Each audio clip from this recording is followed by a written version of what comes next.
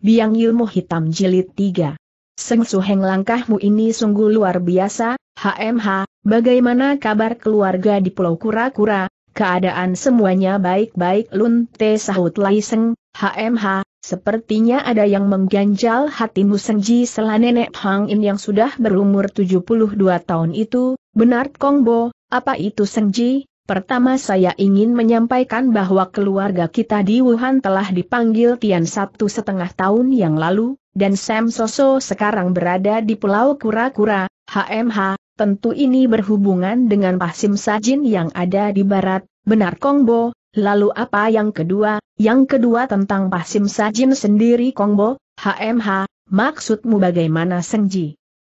Jin ini sangat sakti dan telah mewaskan Tinko dan Jisute dan bahkan hampir lima raus hohan di barat, saya dan Gunko telah menyelidiki keliji yang akan keadaan Pasim Sai Jin dengan menyamar, lalu koma dan kami dapatkan hasil bahwa Pasim Sai Jin turun dari KW Ibansan dan mewarisi ilmu dari Han Buong, kening nenek Hang berkeringit, kami tanya kelima kakek dan nenek di Pulau Kura-Kura, tidak ada yang pernah dengar nama Han Buwong ini, dan Engkong menyuruh saya untuk menanyakan kepada Kongbo, HMH, kalau dia mewarisi Han Buong itu artinya ada hubungan perguruan dengan kita melalui Ibu KH Ugin Bilalu menurut Kongbo, bagaimana kita bisa menundukkan ilmunya yang sakti tentang hawa tubuhnya, hawa tubuh, maksudnya bagaimana Sengji? Koma Kongbo, ilmu kita dan ilmu Pasim Saijin itu imbang, tidak berada di sebelah ilmu kita, namun dia bisa mengalahkan tiga keroyokan Tinko dan Jisute karena hawa tubuhnya sahut Laiseng, tiba-tiba terdengar petikan Yang Kim dan kemudian terdengarlah nyanyian. Hawa busuk menyebar jauhkan diri manfaatkan ilmu si jahat sendiri yang disempurnakan pendekar sejati setidaknya itu mempertahankan diri sebelum tiba kiprah tiga generasi. Han Buong memang penjahat sejati berkubang nista dan lupa akan diri bertabur dendam iri hati dan dengki mewariskan ilmu puncak dari tirani. Suhu dan Subo sering menasehati kelakuan Sute yang tidak manusiawi namun apalah daya kita manusia ini bukankah Tian membolak-balik hati. Terima kasih Supek atas petunjuknya, Nenek Hang In segera berlutut dan menjura ke arah datangnya suara, lalu terdengar jawaban hehehe, Injiang mungil jagalah diri setelah itu suasana hening. Lalu nenek Hang Ing bangkit dan duduk kembali ke kursinya. Siapakah tadi Kongbo? Tanya Kwa San Lun, ya, siapakah tadi Kongbo selalai seng, dia adalah perkongcou kalian Kuai Lojin,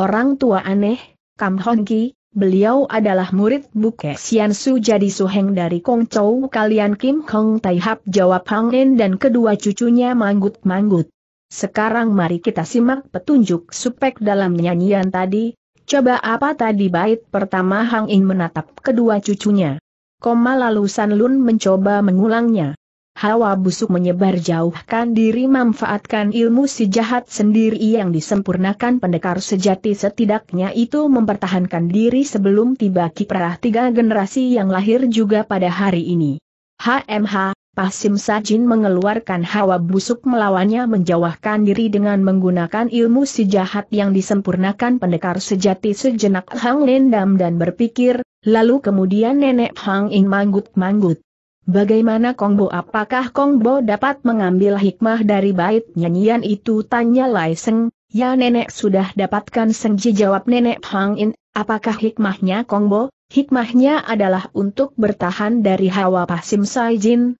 kita harus menggunakan ilmu dasar dari Ibu Benitu yang mewarisi ilmu dari salah satu delapan jahat di KW Ibansan. Koma dan oleh ayah telah disempurnakan dan diberi nama In Hong Sin Kin. Lalu baris terakhir pada bait itu Kongbo, yakni sebelum tiba kiprah tiga generasi. HMH, artinya kita tidak akan dapat mengalahkannya kecuali kita hanya dapat bertahan dan yang mengalahkannya, ada seseorang tapi tidak tahu siapa, mungkin orangnya sudah ada atau mungkin belum ada. Lalu bait selanjutnya begini Kongbo, Lai Seng mengambil nafas. Han Buong memang penjahat sejati berkubang nista dan lupa akan diri bertabur dendam iri hati dan dengki mewariskan ilmu puncak dari tirani. Suhu dan Subo sering menasehati kelakuan Sute yang tidak manusiawi namun apalah daya kita manusia ini bukankah Tian membolak-balik hati. Han Buong adalah Sute dari Sukong Bukek Siansu, kedua cucunya manggut-manggut,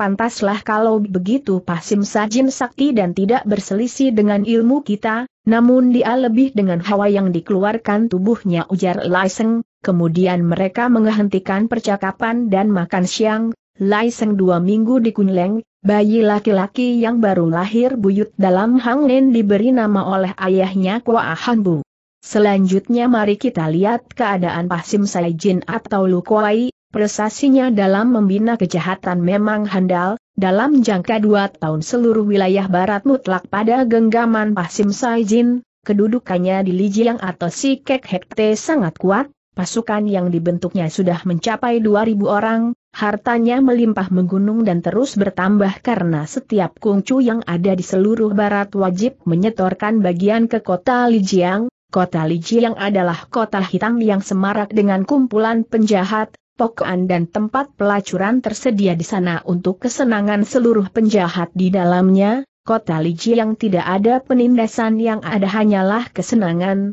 kemesuman. Koma kota Lijiang indah gemerlap, meriah dan semarak, kota yang Hidup 24 jam diperuntukkan untuk semua penghuninya. Malam itu Pasim Sajin mengumpulkan 20 orang murid kepala, kami sudah berkumpul semua Tian Teong, Raja Jagat, dan siap menerima perintah 20 orang itu duduk sambil menunduk di hadapan Lu Kuai yang duduk di kursi singgasananya, oleh para pasukannya ia dia panggil dengan Tian Teong, Lu Kuai tersenyum, kalian semua dengarlah, besok aku akan ke utara dan akan menguasainya, jadi sementara saya di utara kalian 20 yang jadi pimpinan sementara di sini, tetap jaga upeti berjalan dengan lancar, lakukan pelawatan ke seluruh kota untuk memupuk tumbuhnya kejahatan, lakukan terus teror untuk membuat penduduk terpuruk keputusasaan sehingga terbentuk rasa ingin bertahan hidup dan menghalalkan segala cara untuk mewujudkannya.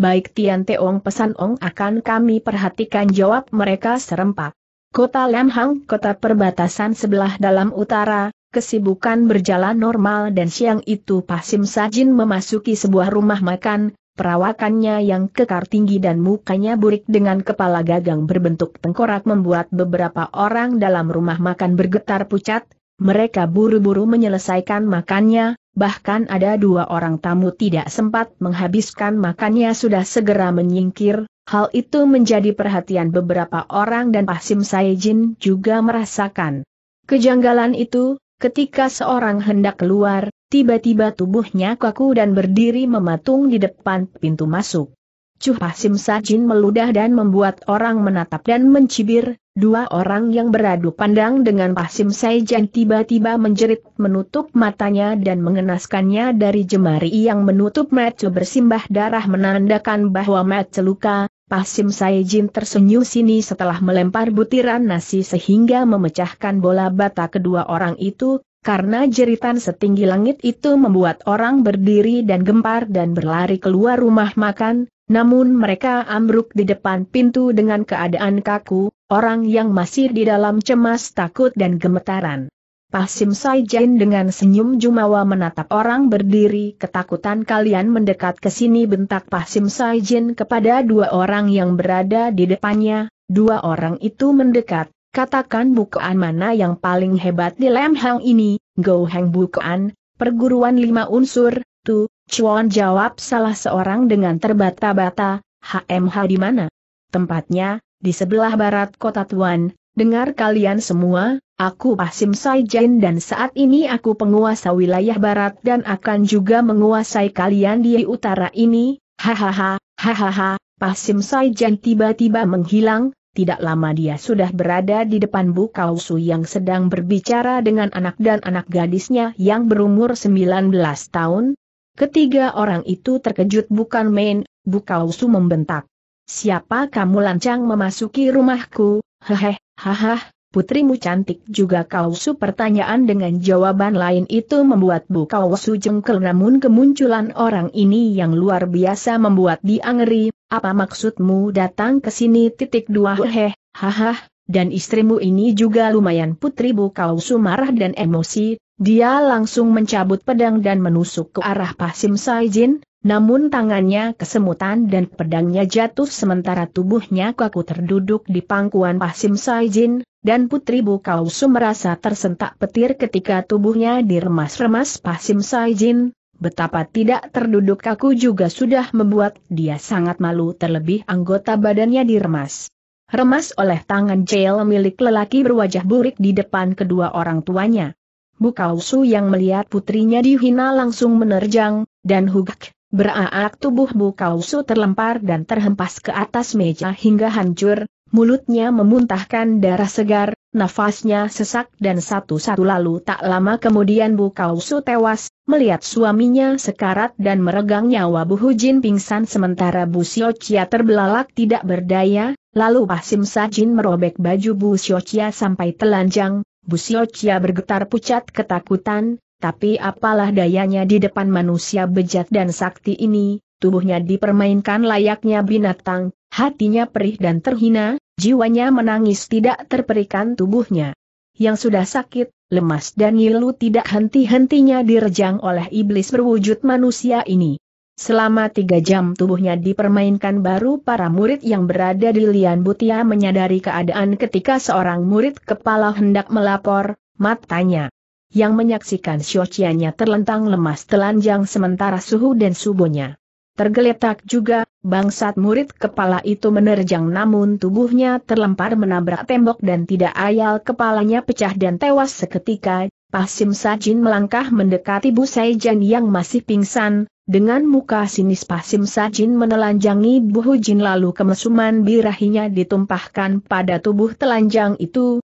Bu Hujin menggerakkan kepalanya ketika siuman dan alangkah terkejutnya Bu Hujin ketika merasakan tubuh kekar menghimpit tubuhnya dan remasan-remasan kasar di sekujur tubuhnya serta koma dia melihat wajah penuh burik menyerinai nikmat merjang tubuhnya Bu Hujin kembali pingsan. Dua murid kepala yang merasa rekan mereka belum keluar dari dalam maka mereka menyusul dan sesampai di dalam mereka menyaksikan pemandangan yang memalukan, mereka langsung melabrak Pasim Sajin yang sedang asik berlomba dengan birahinya di atas tubuh telanjang buah hujin, namun Pasim Sajin mengibaskan tangan tanpa menghentikan aktivitasnya. Namun akibatnya kedua murid kepala itu terlempar lemas tidak berdaya dengan nafas sesak. Setelah selesai dengan nafsunya, Pasim Hujin memakai bajunya dengan senyum sinis dan meludah, dua murid kepala dengan mata terbelalak ketakutan menatap Pasim Saijin yang mendekat, Pasim Saijin merengkuh tubuh keduanya dan berjalan ke arah Lian Hutia lalu melempar ke arah murid-murid yang sedang istirahat, semua murid jadi gempar dan mengambil sikap siaga namun tidak ada yang berani menyerang Pasim Saijin.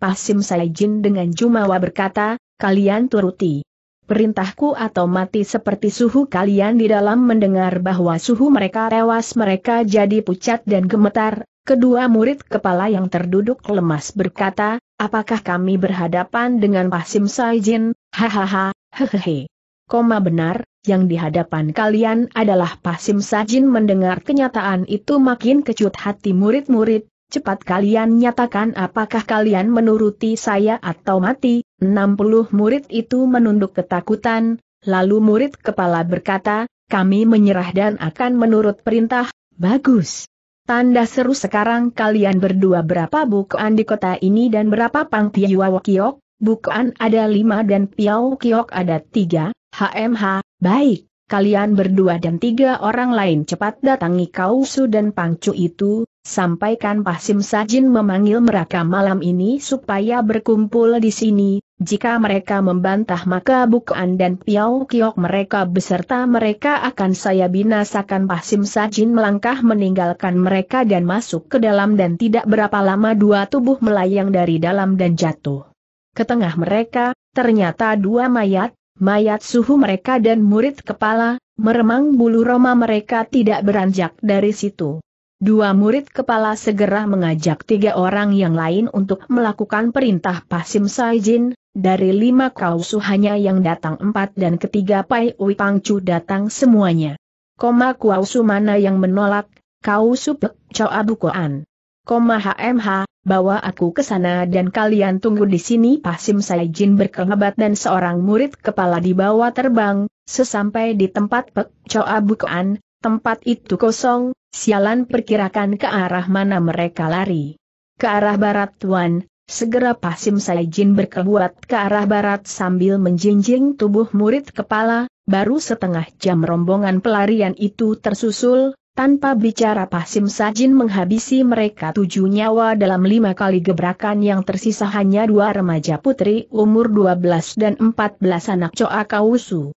Setelah mereka sampai di tempat Bu Kausu, kedua remaja putri itu dimasukkan ke dalam kamar di mana Bu Hujin dan putrinya terlentang kaku dengan tubuh telanjang, kemudian Pasim Sajin kembali ke ruang tengah, Sembilan orang menanti dengan pucat dan makin bergetar ketika Pasim Saijain datang dan duduk di depan mereka, aku ini tirani bagi kehidupan manusia, kalian jika ikut aku akan hidup dengan kenikmatan melimpah. Tapi jika tidak kalian dan keluarga kalian akan mati, dan sekarang pilih mana yang kalian inginkan. Suara itu bergema tajam membuat kesembilan orang itu makin gelisah ketakutan, saya memilih hidup, saya juga, dan saya juga terdengar sahutan mereka susul menyusul, bagus tanda seru. Sekarang kalian kembali ke tempat kalian, kemasi persediaan sekedarnya, kita akan berangkat ke Hangzhou, Kok Nam, Gunteng, Singking dan Ksining,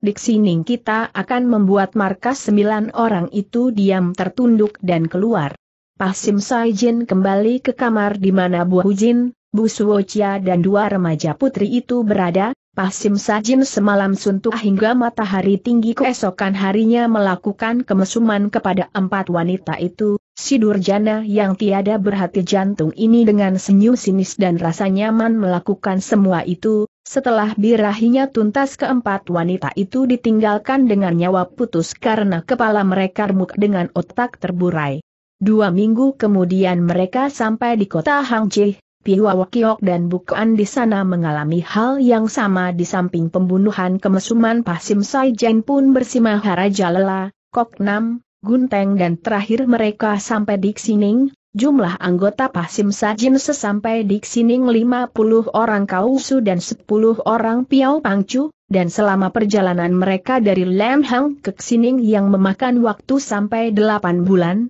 membuat mereka juga terbuai dan terbetik nafsu melihat Pasim Sajin melepaskan birahinya, dan mereka pun awalnya terikut dan mencoba, dan kemesuman itu dilakukan tanpa beban membuat mereka ketagihan. Di kota Xining Pasim Sajin setelah menyelidiki semua bukaan dan Pai Kiok akhirnya memilih mendatangi sebuah Piau Kiok ternama Pak Hang, angin utara, Piau Kiok itu megah, rumah Limpang Chu sangat megah, Halamnya luas dan di aral belakang ada tanah kosong yang luas. Lim Kausu merasa sangat heran dengan kedatangan rombongan yang berjumlah 61 orang itu, lalu dia menjura, ada keperluan apa sehingga para sicu datang kemari sambutnya ramah. Hehe, haha, heh Pangcu, aku adalah Pasim Saijin, aku dan semua dan anak buahku ini akan mengambil alih. Tempatmu ini, Lim Pangcu terkejut dan ketakutan, Nama yang menjadi momok menakutkan ini berada di depannya. Sekarang pilih mau mati atau mau hidup, dan kalian semua geladah tempat ini Pasim Sajin mengancam Lim Pangcu dan memerintahkan anggotanya untuk bergerak. Lim Kausu terpaksa menyerah dan tidak bisa berbuat apa-apa ketika tempatnya diambil alih, untungnya ia tidak mempunyai anak perempuan, dia hanya dengan dua orang putranya dan istrinya sudah meninggal, setelah Pak Hang ditempati keesokan harinya anak buah Pasim Sajin yang terdiri dari pesilat-pesilat tangguh karena level Kausu dan Pangcu membuat Xining gempar tujuh Kausu dan enam Pancu ditaklukan, sehingga jumlah mereka mencapai 75. Kemudian penyitaan harta dan perempuan layak pun dijalankan. Koma dua kungcu dibunuh dan hartanya dirampas dan pasukannya dibabat habis, penduduk Sining kiamat, dalam jangka dua minggu kota Xining ditinggalkan penduduk, dan yang tersisa adalah mereka yang jumlahnya sudah bertambah oleh para penjudi dan pemadat sehingga berjumlah 150 orang, setelah itu perambahan kota pun terus berlanjut sampai ke kota Yinchuan, dan Pasim Sajin mendatangi Pet Hang Heng Te yang sudah siap siaga menanti kedatangan mereka. Dan berketepatan pulan surat dari Kwe E San Kui diterima oleh Kwe E An Bun semalam yang menyuruh supaya Pet Hang Heng Te menggalang puasat kekuatan Hohan untuk membendung gerak Pasim Sajin, namun ternyata terlambat, utara sudah dikuasai dari Lam Hang sampai ke kota Kenlung, bahkan siang itu sudah berada di halaman Pet Hang Heng Te, Kue E An Bun, Kue E Gak dan Kan keluar, Kue An Bun menghadapi Pasim Sajin dengan tenang, Pasim Sajin si bejat tiada tandingan, si culas tiada ketulungan, si mesum tiada terlukiskan. Koma bersiaplah aku menantangmu kata-kata pedas itu membuat Pasim Sajin tercenung, sikap jantan luar biasa yang tidak ditemuinya selama perambahannya di utara, hehe, haha, cuh, cuh, hiat, Pasim Sajin menerjang dan pertempuran luar biasa segit pun terjadi. Pasim Sajin kecelai karena mendapat perlawanan yang luar biasa kuatnya, tenaga berhawa ing yang menyebar membuat dia tertahan, dia teringat tiga lawannya di Li Jiang Yang. Menggunakan ilmu yang sama, sampai 300 jurus perlawanan berimbang, Hek Hoat Bo terbentur dengan Im Yang Pet Hoat sebenarnya Im Yang Pet Hoat lebih tinggi sedikit dari Tian Tetin Hoat Chit, namun pengaruh hawa tubuh Pasim Saijin yang menjadikan Tian Tetin Hoat Chit dapat mengimbangi Im Yang Pet Hoat. Hawa Im Yang yang merusak pembuluh darah itu tawar dengan hawa racun dalam tubuh Pasim Saijin. Setelah 500 jurus berlangsung, Pasim Saijin mengeluarkan pedangnya dan mengeluarkan jurus pedangnya. Beng Cui In Kiam, Kue E An Bon pun mencabut pedangnya dan mengeluarkan jurus Hang Lo Im Yang Kiam, Pertempuran senjata pun berlangsung, suasana makin tegang di kesenjaan yang sudah temaram, dan satu ketika, Kue E Anbon mendapat kesempatan menyabet bahu Pasim Sajin sehingga merobek dan menyayat dagingnya hingga lepas, dan pada kesempatan yang sama, hawa apek merebak, dan ini membuat Kue E Anbon pening dan bangkis, dan tidak ayal gerakan dahsyat. Beng Cui In Kia menggulung tubuh Kue E Anbung dan keras, keras, cep, dua tebasan menghantam bahu dan paha hingga putus dan tusukan menembus perut, kejadian luar biasa cepat membuat si Taihap terkejut, hal ini memang dapat dimaklumi, karena gerakan sebelumnya Pasim Saijin terdesak dan menerima luka di pundak dan tidak menyangka akan berbalik demikian fatal menewaskan Kue E An Bun, Siekan dan Kwe Ega tanpa dikomando menerjang dua pedang mencincang tubuh Pasim Saijin sehingga dadanya luka robek. Besar, pahanya luka menganga, perutnya tembus menyemprotkan darah lehernya robek menganga namun Pasaijin tidak mengeluh ataupun menjerit kesakitan malah membuat Serangan berbahaya yang tidak terduga pedangnya balas menyerang sementara dua si Taihap mabuk dengan bawa pek membuat mereka linglung dan bangkis sementara gulungan pedang yang tidak kendur daya serangnya dari Pasim Saijin balas membabat kedua tubuh si Taihap hingga keduanya tersebelih robek hingga tewas.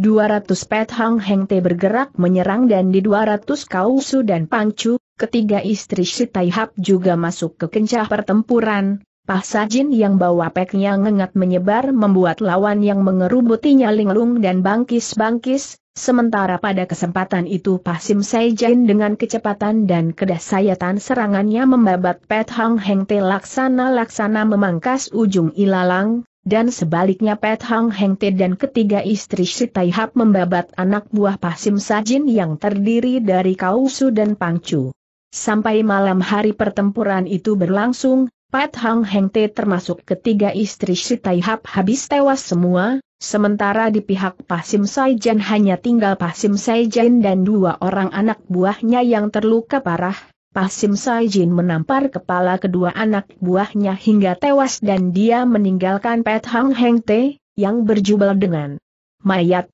Tujuh anak remaja Pautra Putri si Taihap juga tewas dalam keributan besar itu. Pasim Saijin kembali ke Xining, di dalam kota hanya tersisa 50 orang anak buahnya yang terdiri dari golongan penjudi, maka dia mengumpulkan mereka sekembalinya dari Incuan dan menyuruh mereka memasuki pokokan untuk mengajak semua penjudi dan pemadat menempati Xining. Usaha itu terwujud setelah satu tahun peristiwa Yinchuan, pembentukan kota Pakek Hekte, bumi hitam kutub utara, rampung, dan selama enam bulan dia melatih anggotanya ini menjadi pesilat kawakan untuk dijadikan pioner teror di utara, pemungutan upeti pun berlangsung, sehingga Pak Hekte sama persis dengan si Kek Hekte setelah dua tahun setengah Pasim Sajin berada di utara. Setelah Pak Hekte mandiri dan kuat, dengan kekuatan berjumlah hampir 3.000 orang, jumlah ini lebih besar dari pasukan barat karena anggota tidak hanya dari kalangan penjudi tapi juga para anggota Bukan dan Piao Kiok yang sudah takluk pada awalnya, Pasukannya di barat 2000 orang lebih menjalankan prinsip hidupnya dan mengamalkannya kepada seluruh rakyat di barat. Demikian juga di utara, dua wilayah telah dikuasai mutlak oleh Pasim Saijin ketika dia sudah berumur 30 tahun dan sekarang 20 murid utamanya dikumpulkan dan diserahi tanggung jawab untuk menjalankan teror pada rakyat utara dan mengatur kelancaran upeti dari seluruh kungcu karena dia hendak ke timur untuk melakukan hal yang sama. Di ruang keluarga di Istana Pulau Kura-Kura, keluarga Sitaihap berkumpul, Sente bagaimana berita Kongbo di Kunleng San Kui membuka percakapan, keadaan Kongbo dan keluarga sehat dan tidak kurang satu apa pun malah berita gembira yang saya dapatkan ketika sampai di sana dengan kelahiran Kua Bu anak keempat dari Lunte sahut Lai Seng berseri, lalu bagaimana pendapat Imoi tentang Hon Buong? Tanya nenek Liu Bue. Han Buong memang terhubung dengan kita melalui Kongbo Chow KH Ugimbi bahkan lebih dari itu Kongbo. Koma HMH, maksudmu lebih bagaimana Senji Sela Kakek Gan Liong, Kongkong ketika kami membicarakan hal Han Buong, seseorang melintas dan bernyanyi dan orangnya tidak saya ketahui namun In Kongbo berlutut dan bercakap dengan beliau, HMH, apakah Supek Koal Jin yang melintas seru kakek Lunteng? Benar Kongkong kalau boleh kami tahu pernahkah Kongkong bertemu dengan Supek Kong Chow Kuai Lojin yang menurut hitungan saya sudah berumur 200 tahun lebih malah mungkin mencapai 300. Sengji dan kalian semua turunan kami dengarlah, Kuai itu adalah supek kami dan dia tiga kali mengunjungi kita di sini, pertama saat Pengko berumur tujuh tahun, Kemudian saat meninggalnya Ibu Suat Hang dan ketika In Moi menikah semua keluarga muda Sitai Hap manggut-manggut lalu Laiseng melanjutkan. Kong Kong dan Kong Bu dan keluargaku semua, nyanyian Supek Kong Chow Kuai Lojain berbunyi seperti ini.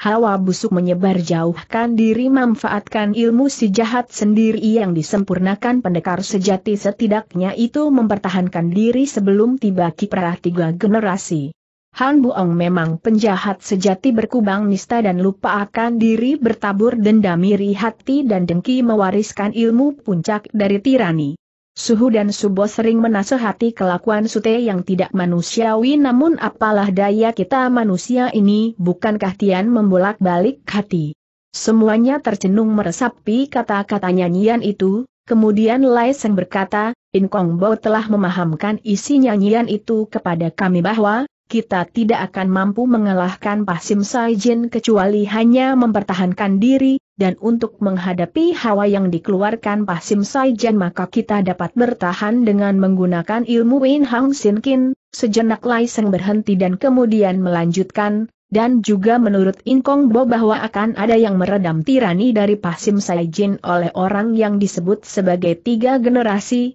benar apa yang difahamkan oleh Enmoy dan taulah kita sekarang bahwa Han Buong adalah sute dari Sukong Buke Sian Su sahut kakek Bun Hui. Tapi anehnya nama anak Lunte yang baru lahir agak mirip dengan Han Buong ini, bukankah namanya Kwa Han Bu Sela Teng Hui Bi istri San Kui, semuanya terdiam dan sesaat terkesiap namun nenek Hwe Amai berkata, ah, itu hanya kebetulan saja tidak usah kita kaitkan, Benar kata Kong Bo Bimoy itu hanya kebetulan timpal San Kui, lalu percakapan itu dihentikan dan beralih ke percakapan masalah rencana ke depan dan setelah larut malam Hap bubar dan istirahat. Dua bulan kemudian Pulau Kura-Kura dibanjiri undangan yang telah disebar dengan lisan oleh San Kui, jumlah undangan yang hadir mencapai 200 orang lebih yang terdiri dari 120 kausu, 70 pangcu, 20 pendekar dan 12 kungcu, Kue E San Kui berdiri dari kursinya untuk membuka pertemuan. Terima kasih kami sampaikan kepada Taijin, Hohan, Taihap, Si Chu sekalian yang berkenan hadir memenuhi undangan kami yang walaupun berupa lisan, hal ini kami lakukan karena terbentur keadaan dan darurat waktu, sekarang mari kita mulai membicarakan inti permasalahan yang kita hadapi saat ini Kwe E San Kui duduk kembali dan kemudian berkata, Si Chu Hohan semua, keadaan barat telah berselimut tirani yang ditancapkan oleh Pasim Saijin, saya akui bahwa Pasim Saijin adalah momok luar biasa pintar, sakti dan brutal sesaat. San Kui menarik nafas dan lalu melanjutkan, saudara kita di barat bukan tidak bereaksi saat kemunculan Pasim Saijin, mereka telah berbuat bahkan telah berkorban nyawa untuk itu hingga 500 hohan di wilayah barat gugur di tangan Pasim Sajin semuanya hening dan menunduk ternyuh akan kenyataan yang menyedihkan sekaligus menegerikan. Kami sudah menyelidiki kelijiang yang sekarang disebut dengan si Kek Hekte untuk mengenal lebih dekat musuh kita ini, maka hasil yang kami dapatkan adalah bahwa Pasim Saijan turun dari KW Iban San mewarisi ilmu dari Han Buong Sute dari Buke Siansu semuanya terperangah mendengar penjelasan San Kui yang terhubung dengan Buke Siansu si manusia dewa yang legendaris. Tentunya dari penyampaian saya kita dapat menyimpulkan bahwa tingkat musuh kita ini luar biasa, namun walaupun demikian kita tidak undur untuk mempertahankan diri dan norma yang kita yakini, San Kui berhenti dan menarik nafas sejenak lalu melanjutkan, mempertahankan diri di sini maksudnya adalah mengimbangi dan mendahului gerakan Pasim Sajin sebelum memasuki wilayah kita, karena dari hasil penyelidikan kami bahwa Pasim Sajin melahirkan kejahatan bukan mengumpulkan orang-orang jahat karena memang nyaris tidak ada penjahat sejak kemunculan Beng Chu Kim Kong Taiyap 200 tahun yang silam setelah berhenti sejenak dan menarik nafas San Kui melanjutkan, dan adapun Kera. Pasim Sajin melahirkan kejahatan adalah dengan mengumpulkan orang-orang malas, penghayal serta berbatin lemah dan itu dia dapatkan di pokokan dan pelacuran, orang-orang ini dibina di satu kota, dan dari sini makar dan penindasan rakyat dimulai, dan di barat kota berpenghuni penjahat ini ada di Lijiang dengan sebutan si Kek Hekte dan operasinya adalah menindas rakyat dan memeras kungcu dengan upetisan kui menarik nafas dan melanjutkan. Dan ada pound kera kita menanggulanginya adalah mari kita galang persatuan kita dengan berkumpul di satu tempat sebagai pusat pertahanan, dan saat Pasim Sajin muncul maka kita serempak masuk kota pusat pertahanan itu, sehingga ketika Pasim Sajin memasuki kota-kota kita dia tidak dapat memanfaatkan kita dengan kesaktiannya semua orang masih hening mendengarkan uraian panjang San Kui yang demikian lugas dan terang membuat tahap pembicaraannya. Dan di samping itu juga kita berusaha menutup pokokan dan pelacuran untuk menutup gerak Pasim Sajin melahirkan penjahat dan membentuk kota hitam di wilayah kita, dan hal ini kami juga mengharapkan dukungan para Taijan untuk menutup izin operasional tempat tersebut dua penanggulangan itu demikian jitu dan efektif sehingga membuat para peserta manggu-mangut. Dan selanjutnya Shichu, Taijin dan Hohan semua, Adapun maksud saya dengan mempertahankan norma yang kita yakini, perlu kita ketahui semua bahwa dari hasil penyelidikan kami bahwa prinsip yang akan ditanamkan oleh Pasim Saijin pada semua orang ada empat macam yakni, hidup sombong, suka berbohong, suka menurutkan keinginan dan suka melihat penderitaan orang semua undangan yang hadir melonggo dan tercenung mendengar prinsip hidup itu, Hati mereka mengkiri ngeri jika seandainya hal itu sudah jadi kenyataan di daerah mereka. Dan prinsip ini telah tumbuh di wilayah barat dengan berdirinya si Kek Hekte dan rakyat akan terus ditindas, diteror, dianiaya, dibunuh sehingga tentunya lambat laun di tengah keterpurukan dan keputusasaan, rakyat pun akan memakai prinsip itu untuk bertahan hidup, dan dapat kita bayangkan bagaimana kehidupan jika itu terjadi di wilayah kita semua orang menunduk tertengun. Nasi Chu yang terhormat, Taijin yang mulia dan para hohan yang baik, demikian yang dapat saya sampaikan sebagai bahan pemikiran bagi kita untuk menyepakati rencana kita selanjutnya San Kui berhenti dan menghirup teh di depannya. Si, Taihap apa yang barusan si Taihap ungkapkan membuat kami merinding, dan kami sangat berterima kasih atas usaha si Taihap yang telah menyelidiki keadaan ini dengan demikian detail dan jelas bagi kami Gak Kausu seorang lelaki berumur 50 tahun menanggapi dan kemudian melanjutkan tanggapannya, dan apa yang Si Taihap rencanakan dengan pembentukan pusat kekuatan sungguh ide yang handal dan patut kita lakukan dan juga tentang penutupan pokokan dan pelacuran saya pribadi mendukung dan sangat setuju semua undangan pun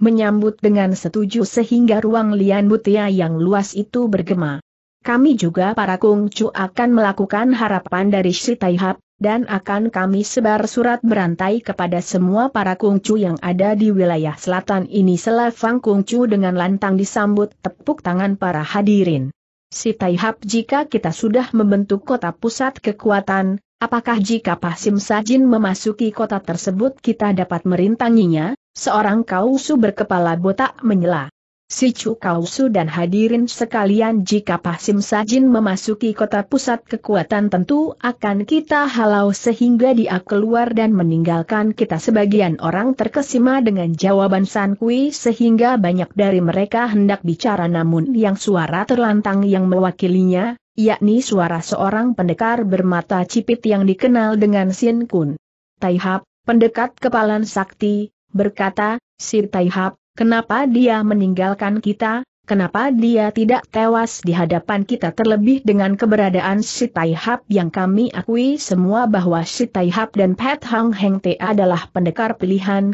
maaf Si Taihap hal ini membuat penasaran. Sin Kun Taihap yang baik, penasaran para Taihap, Si Chu dan Hohan semua kami maklumi, dan memang perkataan kami terkesan bahwa Pasim Saijan tidak bisa kita tewaskan dan hal itu memang benar semua orang terkejut dan terkesima, lalu San Kui melanjutkan, kenapa Pasim Saijan tidak bisa dikalahkan, tentunya itu pertanyaan si Chu semua, ketahuilah. Si Chu semua dari hasil penyelidikan kami dan apa yang telah dialami oleh keluarga kami dan Pat Hang Heng Te di Wuhan, Pasim Sajin memiliki hawa yang keluar dari tubuhnya bahkan dari petunjuk yang kami terima dari Supek Kong Chow kami Kuai Lojin sepertinya Pasim Sajin tidak boleh terluka jawaban San Kui ini membuat undangan terbelalak heran, kemudian San Kui melanjutkan. Jadi Pasim Sajin boleh saja tidak bisa kita tewaskan, namun setidaknya kita dapat bertahan dan tidak kalah sehingga jadi korban semuanya manggut-manggut membenarkan,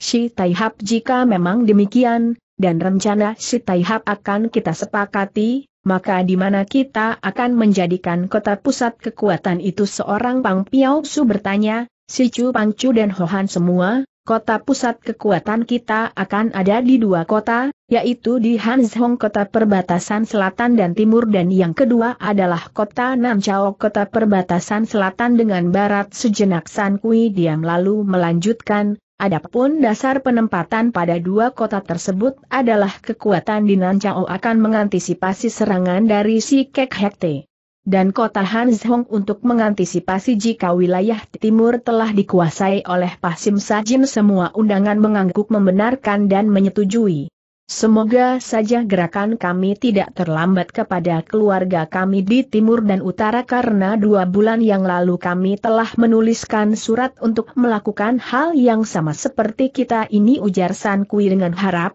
kemudian pertemuan itu dilanjutkan dengan makan dan minum kemudian mereka membagi kerja terlebih penutupan pokokan dan pelacuran serta pembagian kekuatan di dua kota, setelah itu pertemuan bubar dan para undangan istirahat di pesanggerahan Pulau Kura-Kura. Dan dua bulan kemudian di timur oleh Kwe E Jin Hui juga melakukan tindakan yang sama karena Jin Hui telah menerima surat dari San Kui. Jin Hui memusatkan kekuatan di kota Hahat perbatasan timur dengan utara dan juga menutup pokokan dan pelacuran, dan enam bulan kemudian Si Hap di timur berkabung mendengar bahwa Si Hap di Yinchuan telah tewas binasa oleh Pasim Saijin, berita pun disampaikan ke selatan oleh Kam Hong, Kam Hang memburu perjalanan cepat menuju selatan, ketika sampai di kota Hanzong, tiga si Taihap berada di kota itu. Hang Te tanda seru bagaimana kabar keluarga di Yinchuan tanya San Kui, kabar keluarga di timur baik-baik Kuiko, dan surat. Dari Kuiko telah kami terima dan telah melakukan rencana yang Kuiko canangkan enam bulan yang lalu, HMH, baguslah kalau demikian Hang Te, dan juga Kuiko saya membawa berita duka, tiga si Taihap berubah tegang, berita duka apakah itu Hang Te, berita tentang keluarga kita di Yinchuan yang telah tewas di tangan Pasim Saijin ketiga. Si Taihap memajamkan mata menahan sedih dan seduh sedan, dan tidak dari keluarga di sana yang tersisa dan dapat menyelamatkan diri. 200 Pet Hang Te tewas berperang dengan para Kausu dan Pangcu yang dimanfaatkan oleh Pasim Saijin. Semakin tergetar hati ketiga si Taihap mendengar cerita itu dan tidak terasa air mati mereka bercucuran. Kam Hang berada di Hanzong selama tiga hari, dan Kam Hang kembali ke Sinyang bersama tiga si Taihap yang ingin memperkuat kedudukan di timur setelah utara jatuh ke tangan Pasim Saijin. Sebulan kemudian empat si Taihap sampai ke Sinyang dan mereka disambut hangat oleh keluarga.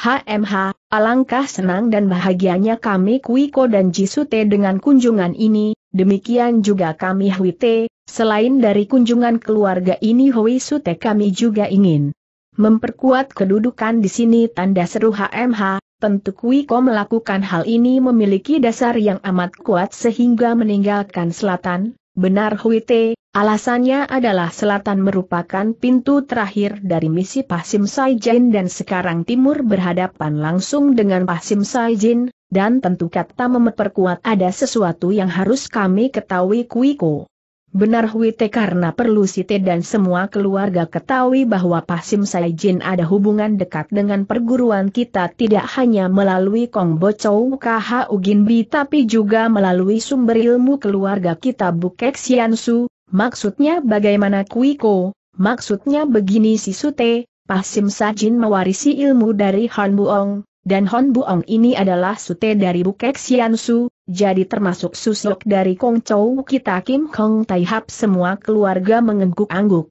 Dan juga si Sute perlu ketahui bahwa menurut petunjuk dari Supek Kong Chow Kuai Lojain bahwa sepertinya kita tidak bisa menewaskan Pasim Saijin dan hanya mampu bertahan itu pun dengan ilmu In Hang Sin Kin. Dan menurut yang saya pahami jika hanya dengan In Hang Sin Kin kita dapat bertahan dari hawa tubuh Pasim Saijin itu artinya Pasim Saijin tidak boleh terluka, HMH, luar biasa kalau begitu Pasim Sin Jin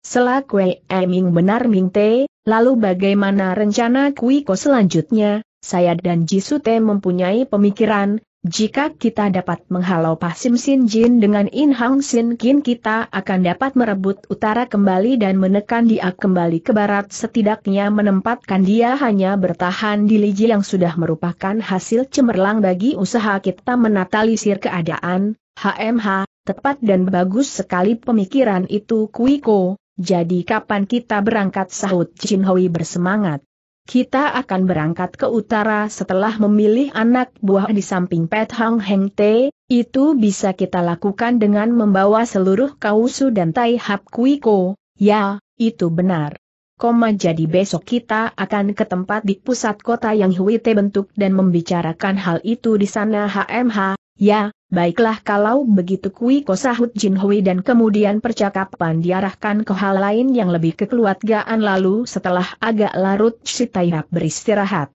Kungcu kota Pengbun yakni Song Pengnin sedang mengadakan pesta pernikahan putranya dengan putri Sim Wang Wei, pesta. Diadakan di rumah Sim Wang Wei, undangan pesta itu tidaklah banyak hanya sekitar 70 orang yang terdiri dari tetangga dan aparat bawahan Kungcu, Keadaan itu memang dimaklumi karena kondisi yang mereka alami yang di bawah tekanan tirani Pasim Sajin yang anggotanya selalu membuat teror pada kehidupan mereka. Ketika Li Suhu dari kelenteng selatan kota sedang memimpin upacara dua terdengar deru lari kuda mengarah ke tempat pesta, para undangan jadi panik dan kacau suara derap lari kuda itu sudah menjadikan ciri khas kemunculan pasukan Paksa Hekte, dan memang kecemasan itu beralasan, rombongan berkuda yang muncul tanpa turun dari kuda memporak-porandakan pesta, para undangan yang tidak sempat bersembunyi terduduk dengan gemetar, di antar mereka itu Li Suhu, kedua mempelai dan beberapa tamu undangan.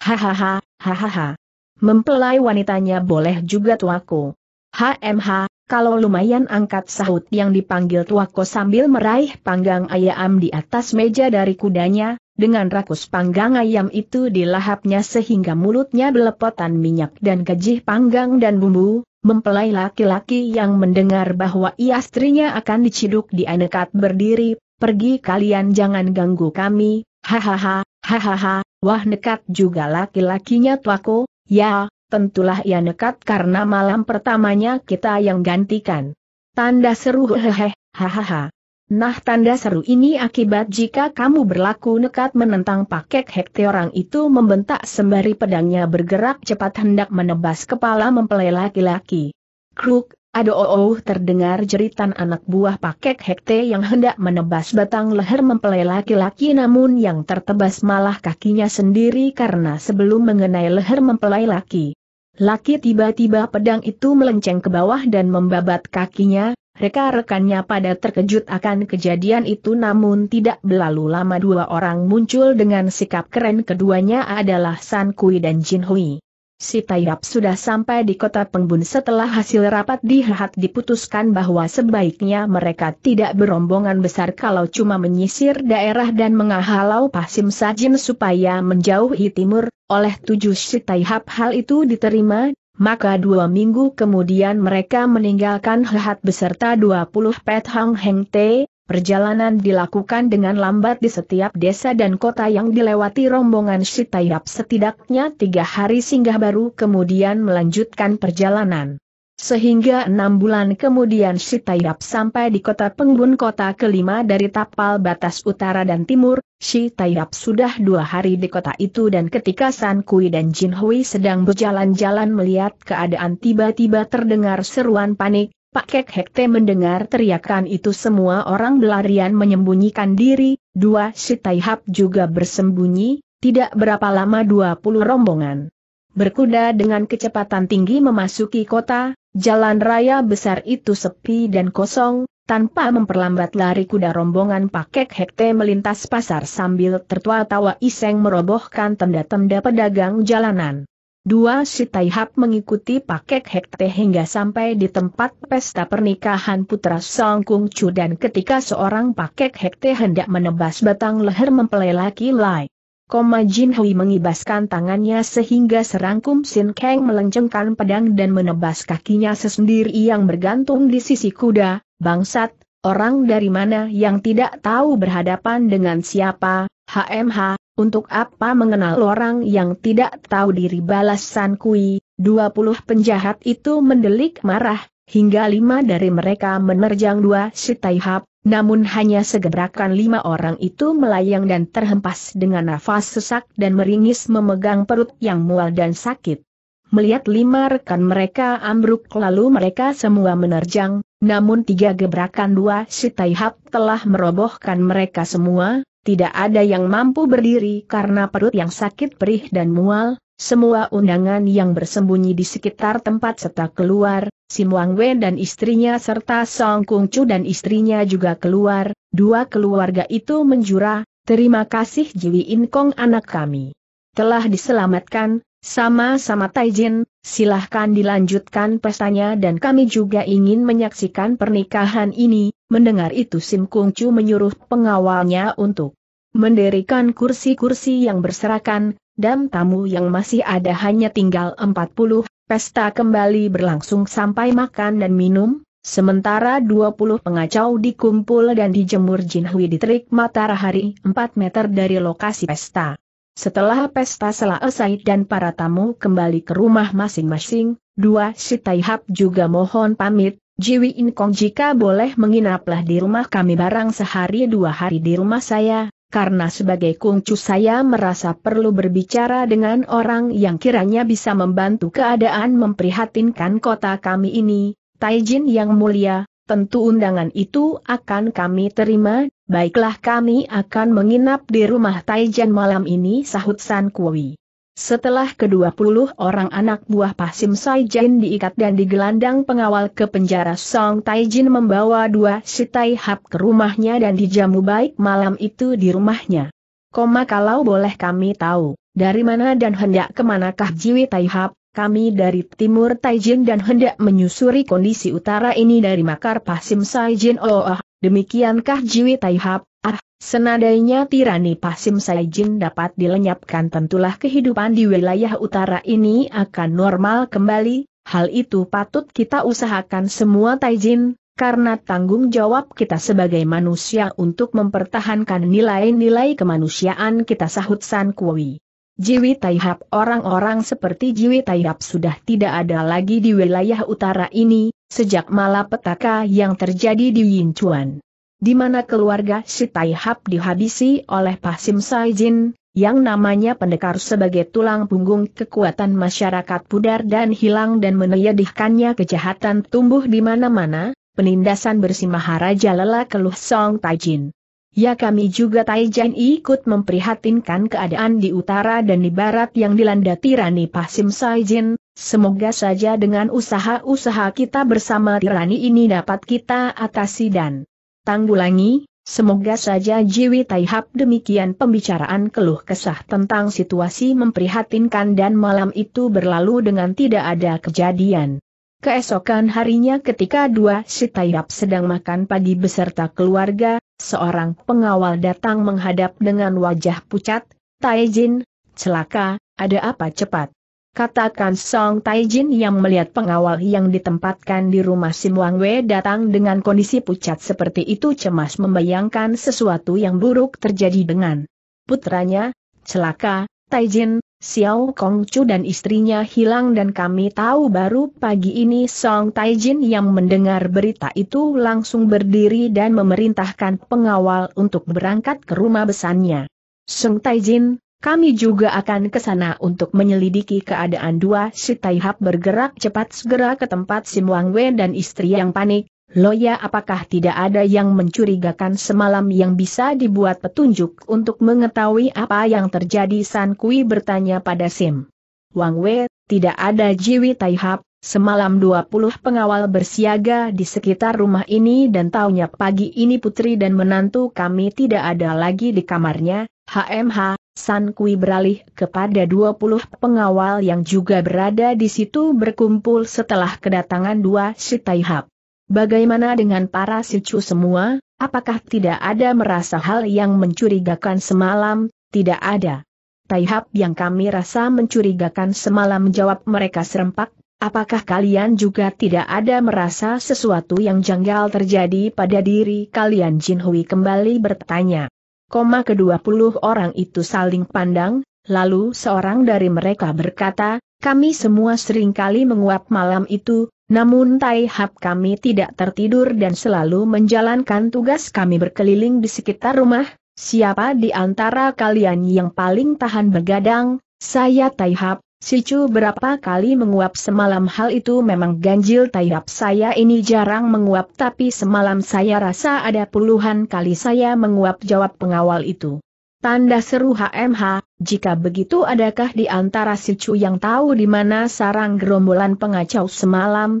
tidak ada yang tahu Tai Hap. Kalau begitu bawa ke sini salah seorang dari mereka dan kita coba korek keterangan darinya. Dua orang pengawal segera pergi ke penjara yang letaknya sebelah selatan kota, namun sesampai di sana 15 petugas jaga masih tertidur dan semua tahanan telah lenyap, setelah semuanya dibangunkan mereka pun panik mengetahui tahahan hilang bahkan pucat gemetar melihat mayat Xiao Kongcu tergeletak tidak bernyawa dengan kepala pecah otak terburai. Dua si Taihap yang diberitahu juga termenung, kalau begitu segera kita menyebar mencarinya, segeralah kalian lakukan, dan kami juga akan melakukannya serusan Kui dan kedua si Taihap itu berkeluar dari tempat itu menuju Likuan di mana rombongan si Taihap menginap. Sesampai di Likoan dan bertemu dengan rombongan San Kui menceritakan pengalaman mereka, dan memerintahkan 20 Pet Hang Heng Te bersama Kue E Tian berjaga di pintu gerbang sebelah timur sementara San Kui bersama Kue E Gun dan Jin Hui bersama Kue E Ming lalu Lai Seng dan Kam Hang menyebar ketiga pintu gerbang kota lainnya.